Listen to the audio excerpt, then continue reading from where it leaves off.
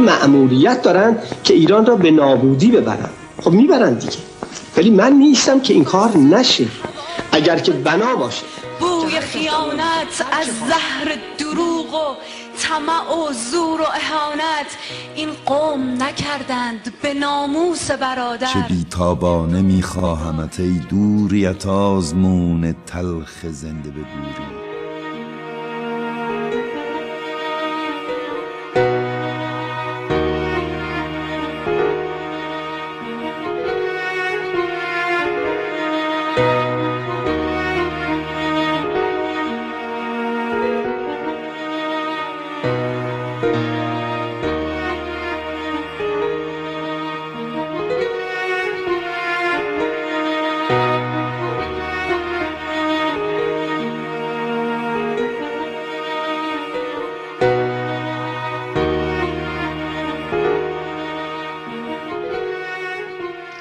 دیکتاتور.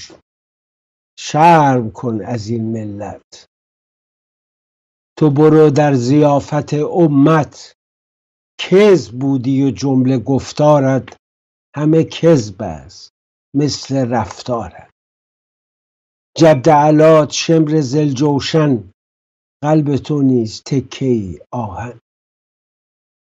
دیکتاتور شرم باد بر نامت.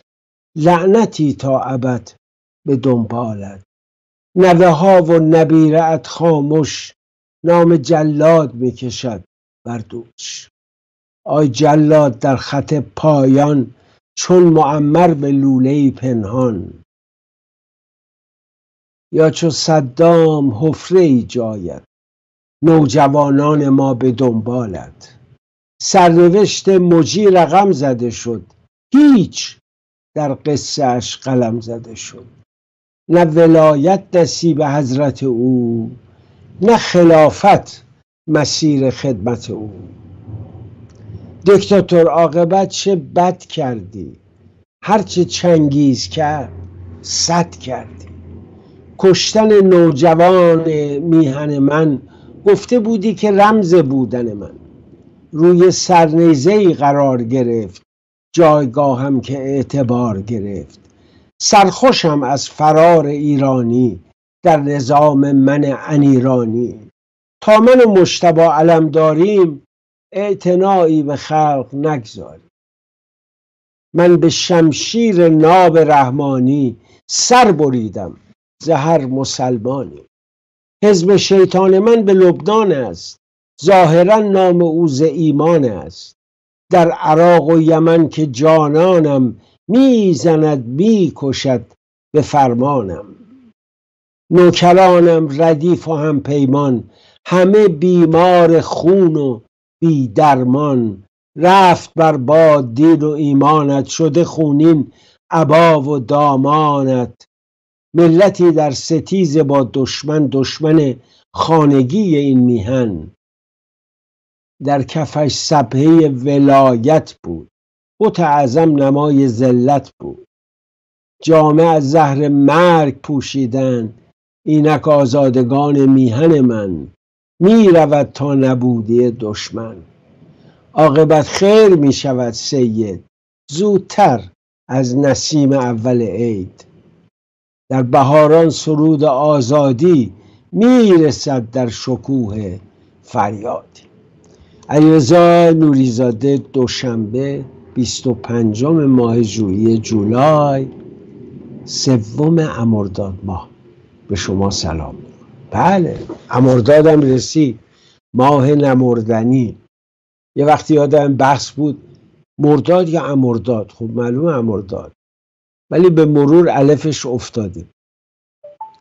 همیشه ماه مرداد در سرزمین ما اصولا تابستان ماهای داغ ماهای تحولات بوده. ماهای دگرگونی ها بوده. در انتظار این تابستان هم باشید سیدلی آقا با فروش وطن به روبل روسی تابستان خوبی رو پشت سر نخواهد گذاشت. این رو میشه حس کرد و دید.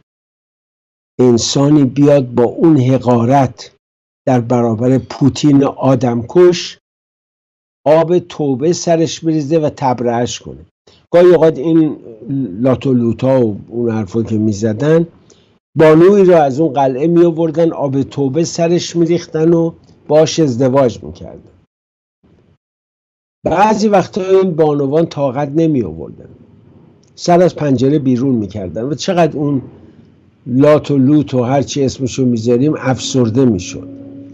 حالا شما هرچی هم آب توبه سر پوتین بریزین مثل اینکه آب توبه سر رژیم جمهوری ولایت فقیر ریختید تأثیر نمی‌کنه.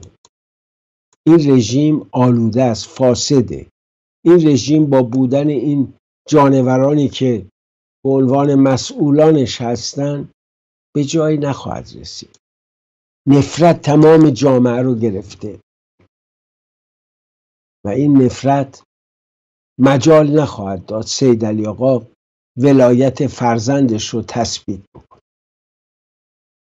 ناهید شیرپیشه واقعا شیرپیشه است.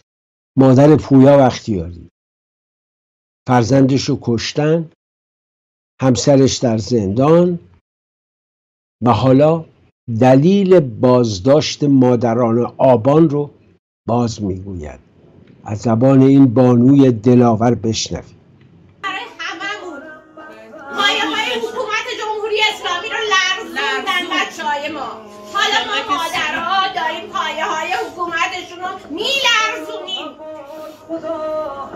همین که امروز نذاشتن شما سر مزار حضور داشته باشید همین که از حضور مادرای آبان اونجا ممانعت کردن این نشان قدرت مادرای آبانه! افتخار کنید به خودتون. بله. افتخار کنید به خودتون. در این چند روزه خبرهای عجیب غریبی بود. خبر شهادت حالا گفتن یا کشته شدن یک مهندس سپاه که در صنایع موشکی کار می‌کرد. برادر مجید عبدالباقی ترور میشه صاحب برج متروپول که گفتن خودشم کشته شده. نمی‌دونم. اینقدر شایعه در این ماجرا هست. در جمهوری دروغ هر خبر راستی هم می‌تونه تبدیل به شایعه بشه. چون از صبح تا شب دروغ میگن. بنابراین هر آن ممکنه که آقای عبدالباقی مثلا در یه گوشه دنیا بیاد. اینجور تصور میشه من نمی‌دونم. گفتن برادرش جسد او رو شناسایی کرد. ولی خیلی جالبه. میرن در خونش او رو می‌کشن. جمهوری که میگه من بال مگس رو در آسمان شکار می‌کنم. می‌گیرم. شبکه اسرائیلی گرفتم. خیال. شبکه اوباش.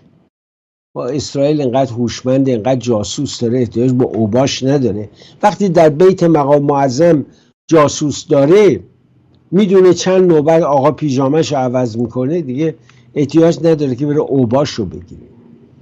اما ماجرای کشتن این آقای مجید عبدالباقی درس درسیش باید روش تعمل کرد. نگاه کنید. همین در بالا بود یه داستانی داشتیم ما الان قبل از این. نگه پنجاه پنجش پیدا نگه شنیدن یه نفسی یا نه؟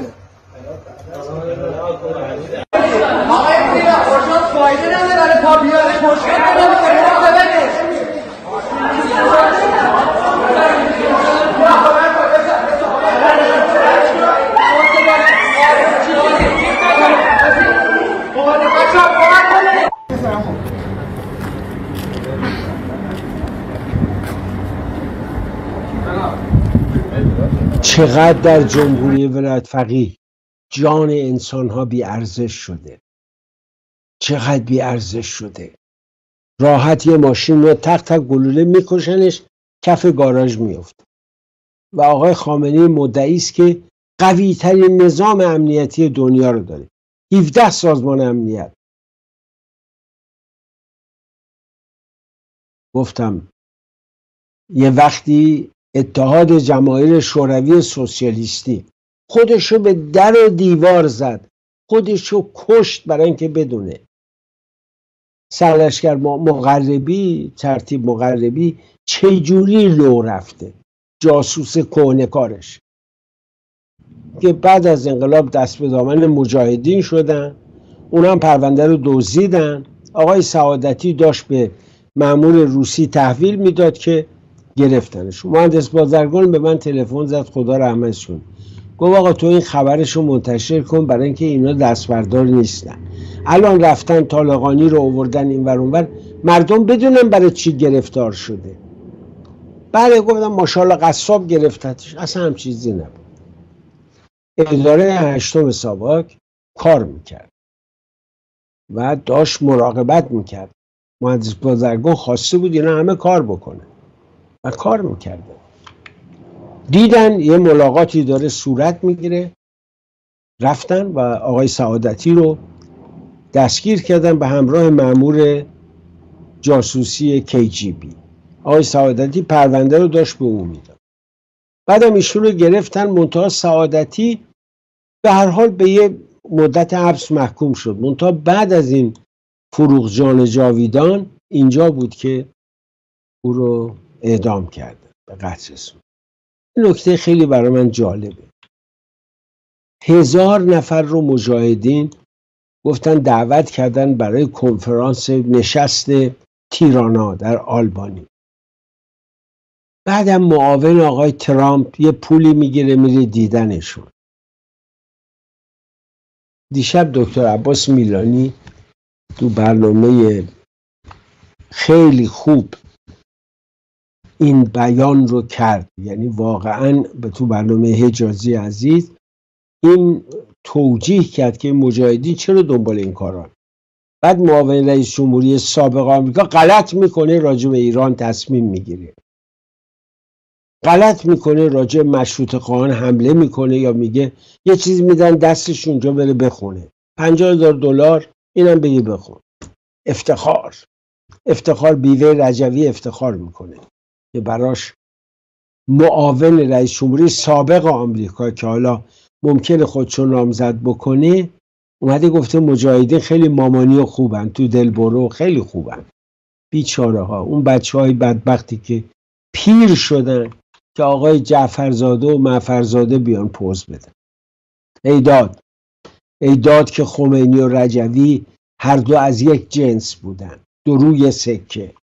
یکی سیبیلاش رو رنگ می‌کرد موهاشو این صدام رنگ می‌کرد درست می‌کرد. یکی دیگه اون آدم میکش بدونه با قاشق چنگال غذا نمی‌خورد. با قاشق بگذاریم.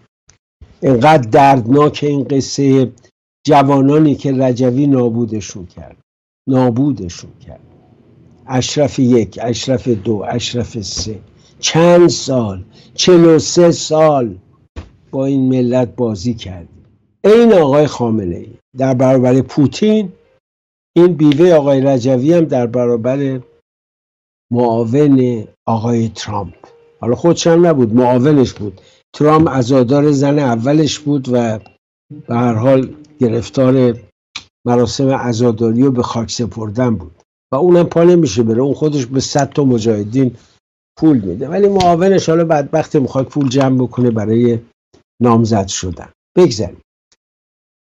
حضورتون از بکنم که کسی که سیسمونی گیت رو فاش کرد به دو سال حبس و دو سال ممنوعیت از فعالیت در فضای مجازی. حالا دو سال میاری حبسش می‌کنی؟ دو سالم میگی تو حق نداری کامپیوتر تو روشن بکنی و توش چیزی بنویسی. یکی از دلایل محکومیتش اینه که به مقام معظم رهبری به گوشه سایتشون گفته بالا چشت ابرو. حرفای خودشو بزن. ولیکن چیزی که هست اینه که این الفاظ این عبارات که داره توی متن حقوقی نوشته میشه یا عبارات فراغون چیزهای دیگه که من اصلا نمی‌دونم چی هست. یعنی مثلا اتهام تمسخر تیتر یک سایت رهبری مثلا نمی‌دونم حالا چی بوده اصلا من چه چیزی نوشتم چون تو روند حقوقی این است که تو مرحله بازپرسی و تو مرحله دادسرا تفهیم اتهام میشه متهم اتهاماتش معلومه مطالبی که نوشته رو بهش میگن یا میپذیره یا نمیپذیره یا دفاع می‌کنه یا هر چیز دیگه. اینا رو من اصلا تفهیم اتهام نشدم. به لحاظ حقوقی که اساسا زیر سوال دادگاه اگر به چیزی رسیدگی کنه که متهم اصلا تو بازپرسی تفهیم اتهام نشده اینو به لحاظ حقوقی نمیگم الان دارم به لحاظ سیاسی اجتماعی میگم که نمی‌دونم. مثلا سایت رهبری یا اینا تیتر یکش چی هست؟ اصلا اون جزء مقدسات کسی نقدی چیزی نوشته به من ربط داشته به من چیزی نوشتم. اینا چند روز دارم میگردم. در واقع چیزی پیدا نمی‌کنم. نمی‌دونم مثلا چی هست. یا محصای دیگه که مزحک هست یعنی مثلا نوشته به دلیل هشتگ زدن مجلس انقلابی مثلا زیر نام چی چی هشتگ مجلس انقلابی به عنوان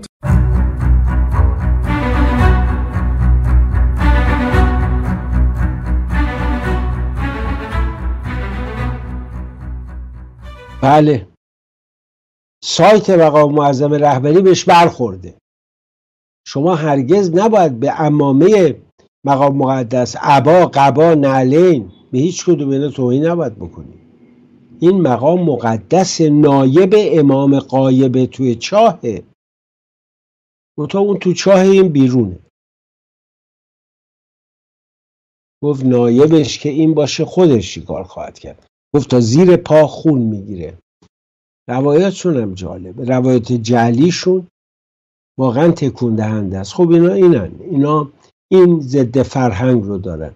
یادتون باشه وقتی حضرت فردوسی درگذشت چهار پنج تا از این علم الهدا اومدن گفتن مسلمون نیست. نمیشه در گورستان مسلمونا دفن بشه. عاقبت در خانه خودش دفنش کرد. ناصر خسرو وقتی از مصر برگشت یکی از یارانش رو پوست کندن. و ناصر خسرو قایم شد. رفته بود به حمامی گفت چه خبره؟ گفت یکی از این یاران ناصر خسرو اومده پوستش رو کندن. این رافزیه چون اسماعیلی بود. ناصر خسرو گفت من برم پس منم در این ثواب شریک شم. در رفت. برای اینکه اگه میشناختن اورم سرنوشتش همین بود. روزگار ما با اهل اندیشه چه کردیم؟ با اهل قلم چه کردیم بسیار تلخ. من چندی قبل اینجا براتون گفت یه معلمی به تعدادی از شاگردان کودکش تجاوز کرد. بعدم که گرفتنش گفته اینا رو سیقه کردن. مطابق رویه اسلام عزیز تشیع اسلام اشری من اینا رو سیقه کردم. حالا هشت ساله شب نداره بالاخره پیغمبرم و نه ساله عروسی کرد.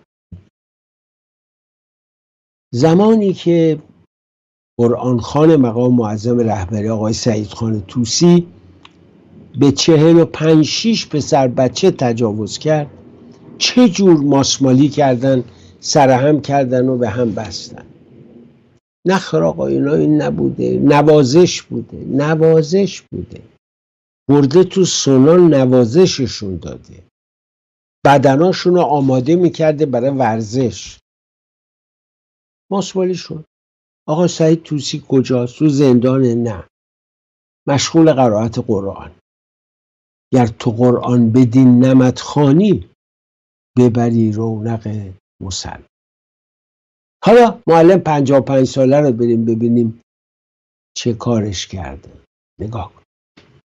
این جعفر دانشه معلم 55 ساله که در فردوس خراسان به 18 تا دختر بچه 11 ساله تجاوز کرد. بارها از جنایات بیماران پدوفیلیا در نقاط مختلف دنیا شنیدیم. این جانیان در همه جا با بالاترین درجات مجازات میشن. اما حاکمیت ولایت وقی داستان دیگه ای داره. شگفت زده میشین اگه بدونین که این متجاوز خراسانی یک سال پیش هم پرونده تجاوز به کودکان داشته. اما خبری از مجازات نبوده و همچنان به تدریس خصوصی دختران ادامه داده. شگفت زده تر زمانی میشینین که بدونید دادگاه فقط برای پنج سال برای تجاوز به 18 تا دختر بچه برای این جانی حبس بریده. علت چیه؟ سیقه همون تبصره که معلم جانی از اون تو دادگاه استفاده کرده.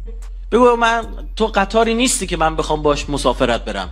به مقصد برسم. تو یه قطار شهر بازی تو یه نیازی داری منم یه نیازی دارم. میایم برطرف کنیم. چون صادقه مشکل دارید باش. میگه زنا بکن اما متع نکن. طبق فتوای مراجع شیعه یه مرد می‌تونه حتی با دختر شیرخواره هم سیغه کنه. معلم جانی هم در دادگاه همینو گفته. گفته دختران رو سیغه می‌کردم. تنها علت همین پنج سال مجازات هم عدم رضایت ولی کودکان بوده. وگرنه خیلی سال پیش خمینی جواز کامگیری و لمس به شهوت و آغوش گرفتن و تفخیز یا همون لاپایی رو داده بوده. هرچند دختر شیرخواره باشه. هشتک اینجا خونه فساده. پنج سال برای معلمی که به چندین کودک تعرض کرده و به اونا آسیب جنسی زده. حالا 18 سال و 8 ماه زندان دو سال تبعید به ایزه یک سال تبعید به تبس دو سال ممنوعیت خروج از کشور و 74 ضرب شلاق برای روزنامه نگاری که طی یک بیانیه خواستار استعفای خامنه ای شده. محمد نوریزاد و تک تک امضا کنندگان نامه درخواست استعفای خامنه ای چندین برابر معلم جانی حکم گرفتن. بله تاریخ ثبت می‌کنه که در حکومت آخوندهای حوزه بر مردم ایران تعرض و تجاوز جنسی به کودکان مجازاتش خیلی کمتره تا درخواست استعفای آخوند دیکتاتور. شرمندگی است شرمندگی. آقای خامنه‌ای آقای خمینی گفت که بله من فقط براتون خونه و آب مجانی و برق مجانی من اخلاقتون رو درست می‌کنم. درست. ما کجا در تاریخ ایران؟ یه اسخر قاتل رو داشتیم که در دوازده تا جوون رو تجاوز کرد و کشت که حتی رضا شاه رفت برای دیدن اعدامش. بهبودی نقل می‌کنه که اون مکالمه که صورت گرفت. رضا شاه بهش گفت ای تو می‌خواستی فاسی گفت بله قربان. اگه وقت داشتم همشون رو بین می‌برد. بعد رضا شاه یه دفعه یک. نگاهی بهش انداخت که از ترس به لرزه افتاد. فکر کرد الان شاه میاد آزادش می‌کنه. میگه باری کلا کار خوبی کردی فاسدا رو از بین برد. و این واقعا واقعا برای من همیشه یه ملاکه. که در اون زمان یه محمود قاتل و یه قاتلی دو تا توی مملکت بودن اسخر قاتل و محمود قاتل. ولی یه دفعه یه نفر میاد در مشهد داستانم این انکبوتی که میاد و اون همه زنان رو می‌کشه. قاری ویژه مقام معظم ولایت و نایب امام زمان به چل تا پسر پسر بچه از جمله از اقوام خود آقای خامنه ای تجاوز می‌کنه. نوازش کرد. نوازش پدرانه بوده. و این دختر بچه ها چه سرنوشتی خواهند داشت؟ وقتی در این سن خردسالی به اونا تجاوز شده چه حالی پدر و مادر دارن؟ در یه جامعه متعصب چه حالی دارن پدر و مادر؟ بله. رژیم نه فقط به مردم بی مهره مردم رو می‌کشه اخلاق مردم رو فاسد کرده دروغ رو رواج داده دزدی رو. یه نکته دیگه هم هست. حتی به انسانهایی که برای دفاع از وطنشون آب و خاکشون جان و جهان دادن جوانیشون رو دادن حتی با اونا برخورد حیوانی داد و من از خودم سوال می‌کنم.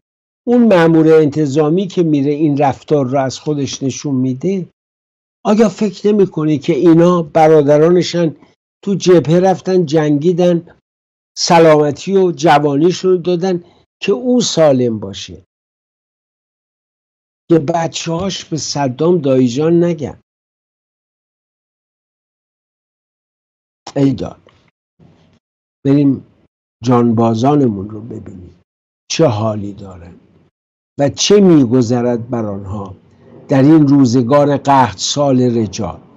نگاه کن.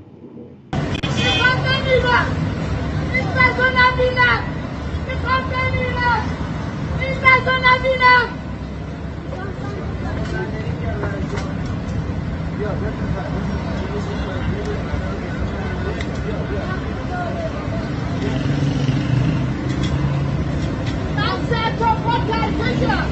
İmdat şekamamı, imdat babamı, imdat kurdun babamı. Ben çıkartırım. Şimdi sana çadak kafasına. Esnana çadak kafasına. Şimdi ben senin bakma hakkımını doyacağım. Kızım bana bana meşale vermesin.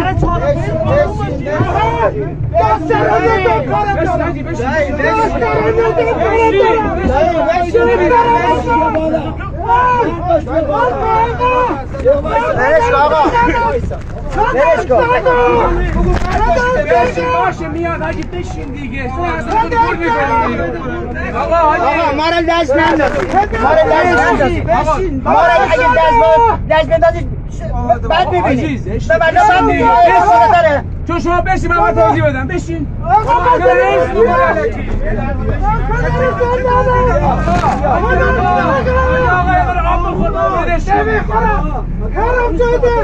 بر پدر رحیمی چند رحیمی نداشت بر پدر حسین رحیمی نداشت جایی که از ما دفاع کنی حقمون رو بگیریم میری ما رو دستگیر می‌کنیم بعد تو مامور میری ماموریت باید هی بالا سرت بیاد اون یه دو دلت دوست بالا نشسته شما رو داریم دستگیر می‌گیرین بسم الله الرحمن الرحیم جانبازان هستن که تو پلیس منطقه تو بازداشت تو ماشین بازداشت شدن و نمی‌دونم جرمشون چیست. آخه جانبازا گناهی کردن که الان باید تو این موقعیت اجتماعی عوض اینکه تشکر به حال این جانبازان بشه. بعد تو پلیس امنیت بچه ها رو انداخته تو قفسه. همه جانباز شیمیایی دستقط پاقت همه اینا. هستن نمی‌دونم مدیر مسئولین. مدیر مسئولین جواب بدین نسبت به این قضیه. بازداشتی به خاطر شرم بر شما باد شرم بر شما باد. به یه جوان 18 ساله 19 ساله رفته تو جبهه. پاش قطع شده. هفتاد درصدیه. شیمیایی شده. و حالا برگشته به جان که مثل تمام دنیا اعتبار ارزش او رو بگذارید. وسایل زندگیش رو فراهم کنید. داروش رو بهش بدید. در همون جبهه یادم نمیره. به کسانی که در معرض خطر بمب‌های شیمیایی بودن یه باکس می‌دادن. از جمله یک سوزنی بود به نام آتروپین. که اینو به خودشون می‌زدن که مسئولیتشون بالا بره. یکی از همین مسئولان بنیاد شهید در وارد کردن آتروپین رفتن. مقادیری وارد کردن که expire تاریخ گذشته بود. و در نتیجه اینا که به خودشون می‌زدن مسئولیت نداشتن. و چقدر جوانای ما اینجوری از بین رفتن. حالا همون صدام تکریتی وقتی شنید که وزیر بهداریش همین کارا رو کرده داروهای تاریخ مصرف گذشته رو از سوئیس وارد کرده یه روز بامداد هفت رفت به دفترش. هفتیرش هم گذاشت رو میز. گفت آقای دکتر شما اگر اقرار بکنی که این کار کردی و همدستات رو معرفی بکنی من امجی یه گلوله می‌زنم تو سرت میکشمت. بعد میگم در جنگ شهید شدی خانوادت در نهایت احترام. از مزایای یک شهید برخوردار خواهند شد. اما اگر نگی محاکمت می‌کنم با بی آب روی خاندانتو نابود می‌کنم و عاقبتم به وضع فجی می‌کشم. دکتر رو گفت نه هفتی رو بر میدارم گفت می‌تونی هفترم وزیر منو بکشی اگه جرأت داری. دکتر اعتراف کرد همدستاشو گفت و صدام رو کشت ولی خانوادهش محترم موندن کردم بود. و تا امروزم محترمانه زندگی. حالا در جمهوری ولایت فقیه سوزن آتروپین تاریخ مصرف گذشته آوردن. به جان بازان داد نمونش هم داریم می‌بینیم دیگه. رضا دوست من که شهید شد رفت میمد جلوی بیمارستان سپاه بقیت الله اعظم چه اسمایی گذاشته؟ بقیت الله اعظم بذار آقا مهدی راحتش کنی اسما چیه دیگه؟ به هر حال از اونجا به من زنگ می‌زد. می‌گفت فلانی من اومدم دارومو بگیرم دارو رو به من نمیدن. این این هیلین که باید بکنم به من نمیدن. اگه بیرون بخوام بخرم اون زمان می‌گفت شست هزار تومنه. برای من سنگینه. اما چی؟ رئیس سازمان انرژی اتمی. بله. ما, ما با دنیا در حال جنگیم. اگر ما رو متهم بکنن دوربین ها رو جمع می‌کنیم همه دوربین ها رو جمع می‌کنیم دلیل دوربین ها بر جا بمونیم وقاحت در این حد که ما بم می‌خوایم بسازیم. شما که میگید شما دارید بم می‌سازید نه ما ناراحت میشیم و جمع می‌کنیم. آقای رافائل گروسی گفته بود که غنیسازی 60 درصدی که ایران مشغول آن است به این معنا نیست که ایران در حال ساختن سلاح هسته است اما کشوری که اهداف نظامی ندارد اقدام به غنیسازی 60 درصدی نمی‌کنه. حرف منطقی خیلی درسته. شما اگر ریگی به کفشتون نیست چرا 60 درصدی و 90 درصدی تولید می‌کنید؟ چرا 20 برابر میزانی که به شما اجازه دادن اورانیوم 3.5 تا 5 درصد تولید می‌کنید؟ برای که شما برنامه دارید. به سید علی آقا قول دادید چهار تا بمب بذارید تو کاسش. و اون آقا فکر می‌کنه که اگه بمب داشته باشم درست. مقام معظم ولایت در خاندان ایشون ثبت میشه حداقل 200 سال میمونه حالا تا قصه حضرت از اعتبار بیفت واقعا برای من جای شگفتی است. یه رژیم نادان خود رو وابسته و نوکر روسیه می‌کنه. برای که بگه من با دنیا در حال ستیزم. دنیا چقدر بهش امتیاز داده؟ چقدر امتیاز داده؟ اسباب شگفتی توی مطالبی که می‌دیدم در رابطه با هجاب و افاف و غیره دیدم که آقای کروبی هم گفتن با هجاب اجباری مخالف هستن انسان وقتی که در قدرته باید این حرفا رو بزنه. الان که در حسره دستش از همه جا کوتاهه هر چی هم بگه مردم میگن بخاطر خودش تو بازی شریک نیست. آقای کروبی روزی که در ریاست مجلس اومد گفت مقام معظم رهبری حکم حکومتی دادن. و حق ندارید راجع به قانون مطبوعات صحبت کنید نشون داد که فرزند جمهوری ولایت فقیه. پاسدار این مبانی و اصول ضد ملی و ضد بشری است. سر هجاب خود ایشون چی میگو حاج خانم باید نمونه بود. میمد میگو آقا دخترای من بی هجاب دارم میام بیرون. بسیار اسباب تاسفه که ما شاهد این گونه احوالات هستیم.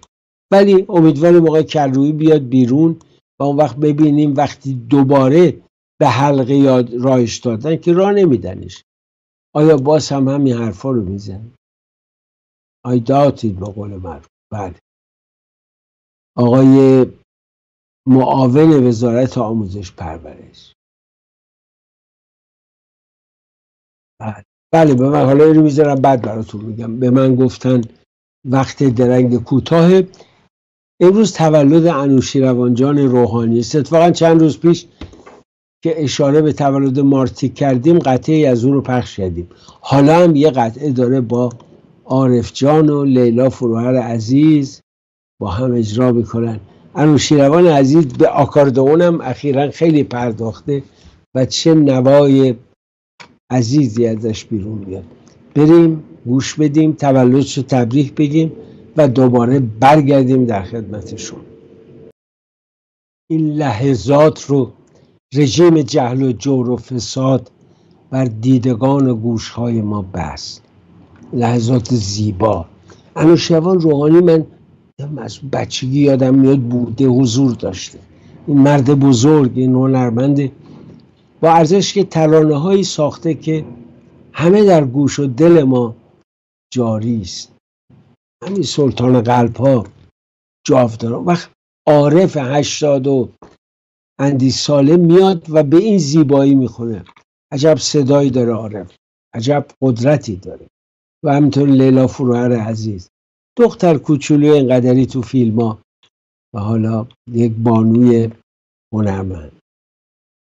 در قدر اینا رو بدون حالا آقای وحید یامیپور این معاون وزارت آموزش پرورش تعبیری کرده که من میگم اینو به عنوان یکی از عجایب تعبیرها باید ثبت تاریخ کرد. فکر کنید فردا میرحسین موسوی از حصر آزاد بیاد بیرون. چه اتفاقی میفته؟ هیچ. میره تو خونهش به همراه همسرش. دخترشون میده با خانوادهش این سالهای دوری و جبران می‌کنه. البته هر چقدر دوری باشه بنزه ماها نیست. چهل و اندی سال وطن رو ندیدیم. سالهایش هم مربوط به آقای موسوی بود. بر بگذاریم. هیچ گذشته رو نمی‌خوام مطرح کنم. اما آقای معاون آموزش پرورش بر این باوره که اگر موسوی از حصر آزاد بشه و لابد دلیل عدم آزادیش همینه و این آقای یامیپور از سید علی آقا شنیده. زنا لباس زیرشونو سر چوب می‌زنن میان تو خیابون. آخه شما فکر کنید یک ذهن بیمار یک ذهن بیمار بدبخت آقای عبدی هم میگه مگه در زمان شاه هجاب اجباری اجباری بود؟ نبود. آیا کسی لباس زیرش رو برافراشت؟ برافراشتن لباس زیر محصول سیاست های کنونی رژیم. رژیمی که اینقدر جاهله که معاون وزارت آموزش پرورشش. این تعبیر رو از زنان داره. زنان مبارزی که دیدید. شما نگاه کردید دیدید که مادر بختیاری چیست؟ مادر پویا چه میگه؟ اینا زنان امروز ایران. لبازی رو برمی افرازن نه. ولی این آقای وحید خان از جنس همون سعید توسی و از جنس همون متجاوز به دختر بچه هاست. چون ذهن ذهن بیماری است. این ذهن بیمار تصور می‌کنه الان اگر آزادی در جامعه باشه زنان لباس زیرشون رو سر چوب می‌زنن. نادان چنین نیست. چنین نیست. واقعا حیف از اون مملکتی که زاب بیاد و بنشینه جای بلبل. حیف که وزارت آموزش پرورش فرخ رو پارسا وزارت آموزش پرورش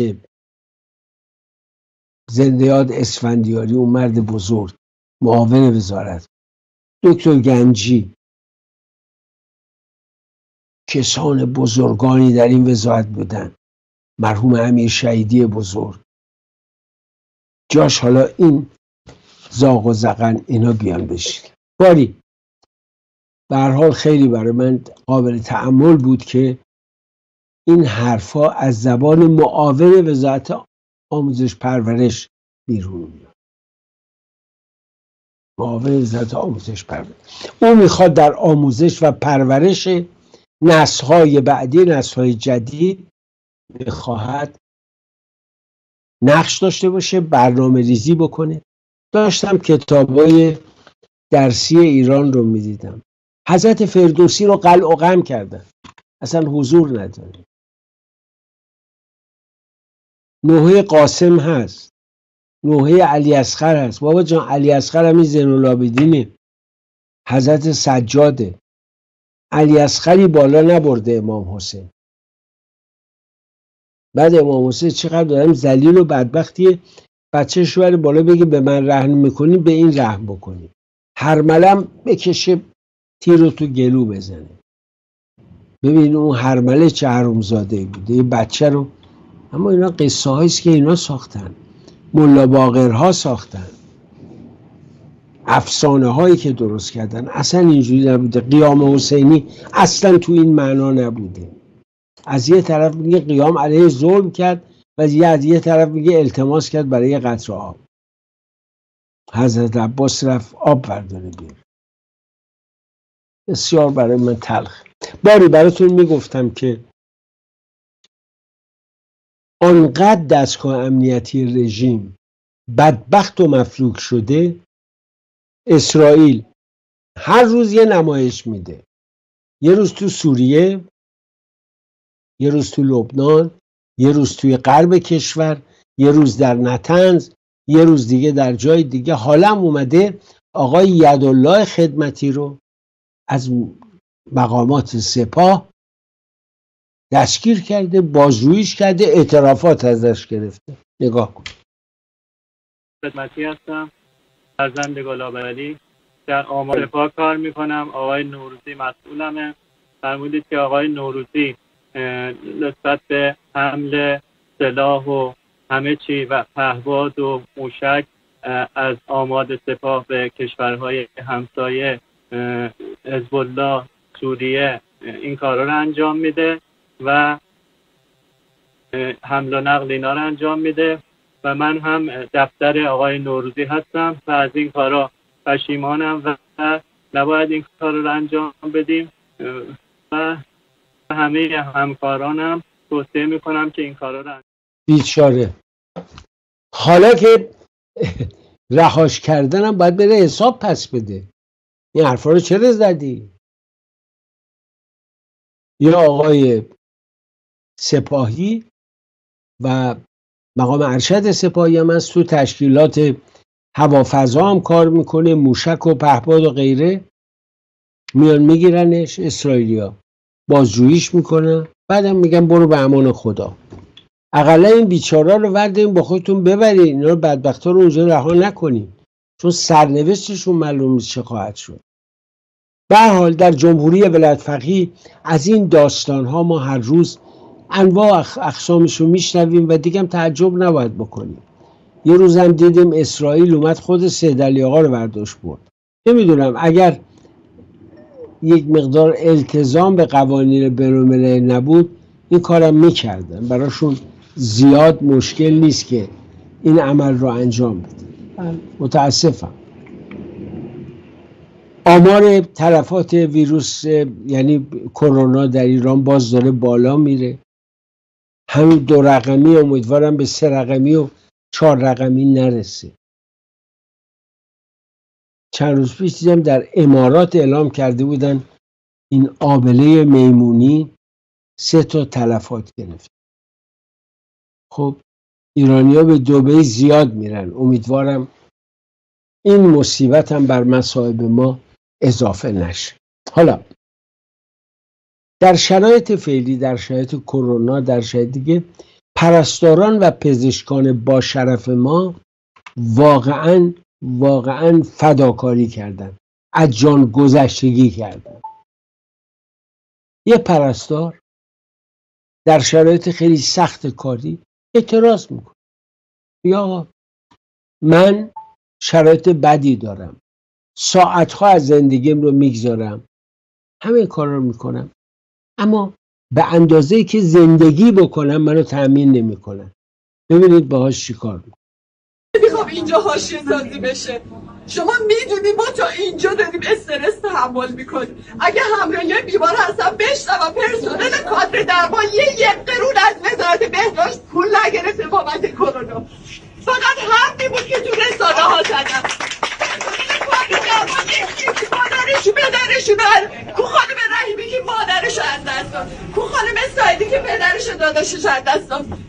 وزارت بهداشت یه صد تا تک تومنی خرج درمان هم به پرسنل نداد. پرسنل اگه جونم دادن از تیم خودشون دوباره پول پرداخت کردن. من من انتظار دارم. منی که با تمام وجودم دارم میام توی بیمارستان. و بارها و بارها بچه بله. آقای دکتر سیدم سید بهروز. آقا سید بهروز اسم قشنگی داریم افتخارزاده. آیا تو پسر آقا جلالی؟ امیدوارم نباشی. این بانوی نازنین رو اخراج می‌کنی به خاطر اعتراف؟ بگذاریم. در کشور ما خیلی طبیعی است. رئیس جمهور شش کلاسه باید وزیر سه کلاسه داشته باشه. رئیس کل قوه قضاییه دیپلمش رو یه مجاهد براش تو زندان بدبخت گرفت بعدم اعدامش کرد. که آقا بره بعدا به اجتهاد بگیره و با اجتهاد هم بره دکترا بگیره. اما مدارک تحصیلی جعلی مسئولان جمهوری اسلامی دیگه تشت رسواییش در واقع افتاده. نگاه کنید به این کلیپ قابل تحمل توجه مقام معظم رهبری حضرت آقا به تمدن نوین جهان اسلام در گام دو برنامه گام دوم هست. بله. خب این تمدن نوین جهان اسلام ما طلایه‌دارش کشور خودمون رو می‌دونیم با سرمایه های شهیدان گرانقدرمون حاج قاسممون سرمایه گرانقدر امام راحل رحمت الله علیه و مدبری ها و رهبری های داهیانه مقام عظمای ولایت. و همه مردم. افت شریعتی کوهبنانی سینه چاک مقام عظمای ولایت نماینده مجلس شورای اسلامی در دوره 11 و مشاور وزیر فرهنگ و ارشاد اسلامی. ایشون مدرک دکترای جعلی خودش رو از میسم شکریساز خریداری کرده بود که بعد از رسانه شدنش گفته بود من هرگز دکتر نبودم و این کار منافقین شبکه العربیه است. میسم شکریساز که اسمش رو به ماکان آریا پارسا تغییر داده مدیر هلدینگ پارس پندار نهاد یکی از عوامل فروش مدرک جعلی در ایرانه که با طراحی سایتی شبیه به دانشگاهی در نیویورک مدارک رو با عنوان این دانشگاه صادر می‌کرده. در حال حاضر این سایت از دسترس خارج شده اما به دلیل ضعف در طراحی محمد جرجندی کارشناس جرائم سایبری تونسته به اطلاعات بیش از 480 فردی که پول دادن و این مدارک رو خریداری کردن دسترسی پیدا کنه. حمیدرضا قمی رئیس شورای اسلامی شهرستان یزد مسعود سریع القلم مشاور و رئیس دفتر قائم مقام صدا و سیما و مشاور معاون مالی و اقتصادی شهرداری تهران شیخ محمد علی نوری دکترای حقوق و تجارت بین الملل QIL انگلستان دکتر سید هادی سرکشیکزاده مدرس دین و زندگی و کارشناس تحصیلی صدا و سیما میسم احمدپور طلبه با 47 اختراع و دارای مدرک تحصیلی از دانشگاه نیویورک استاد لقمان محمدیان امام جمعه اهل سنت شهرستان بیجار دارای مدرک از نیویورک مسعود احمدی نیا معاون تعاون و امور اجتماعی متعالیه همشون دکترای قلابی دارن و خدا رو برکت بده پول. دستگاههایی هست در دوبه دفتر دارن در تهران دارن. مدرک هم بهتون میده. برید آقا دکتر بشید همتون. همتون دکتر بشید اما خیانت نکنید. اما وطن فروشی نکنید. مثل آقای خامنه گردنتون رو جلوی پوتین کج نکنید و اون لبخند بیمعنا رو تحویل ندید. ایران سربلند. ایرانی سرفراز. پرچم زیبای سرنگ شیر و خورشید نشان هماره برافراشته باد ایرزا نوریزاده تا فردا همه شما را به پروردگار عاشق می سپارم.